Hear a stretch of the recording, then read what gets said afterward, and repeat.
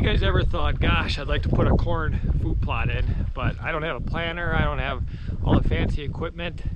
Well, uh, neither do I, and I'm not a farmer. My first year putting a corn food plot in, it is not that hard. This one's a little, uh, you can see they're not a full-size ear, it's a smaller ear. I do have some full-size ears. If anything, I'm planting them too tight, too close together. But uh, this is broadcast, not using a planter. Four-wheeler, I did till it up with the tractor, but uh, just use a four-wheeler with a drag harrow to cover the seed. So it came up really thick. Let's uh, enough talk and let's get to it. Show you guys how to do a corn food plot broadcasting. Look at that corn. Look, eating some. It's as tall as Lookie.